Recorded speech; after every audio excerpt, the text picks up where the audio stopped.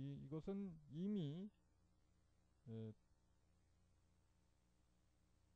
어, 이미지 포맷을 알아볼까요? 여기에 이 지금 현재 이미지는 현재 이미지는 JPG로 되어 있습니다.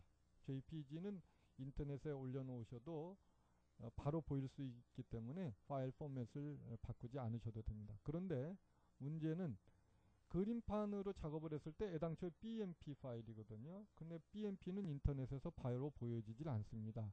그러니까 여러분들이 만든 그림판 작품이 바로 보여지게 하려면 이 BMP로 된 것을 JPG나 GIF로 바꿔주시면 좋겠습니다. 그런데 어, JPG를 권장을 하고 싶어요. 그 다음에 용량이 너무 크면 가령 1메가가 넘어가는 일은 뭐 흔치 않겠지만 혹시 너무 크면 예, 용량이 커서 올라가지 않으니까 용량도 적절히 예, 조절을 하실 수가 있습니다. 단 여러분들이 주의하실 거는 용량을 너무 줄이면 화질이 떨어진다는 것을 각오하셔야 됩니다.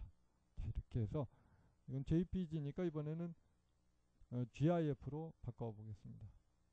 후 원본 파일을 삭제할 것인가 삭제하지 말자. 네? 아, 확인 눌렀습니다. 그러면 컴퓨터에 JPG라는 파일과 아, GIF라는 파일 두 가지가 생겼습니다.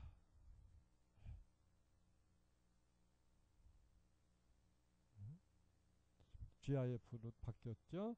예, 올림픽 공원 사진 GIF 이렇게 예, 바뀌었습니다. 자, 이상으로 RC를 이용해서 그림 바, 크기 바꾸기, 포맷을 바꾸기, 이미지 회전시키는 방법에 대해서 알아보았습니다. 즐거운 수업이 되었습니까? 예, 잘 활용해 보세요.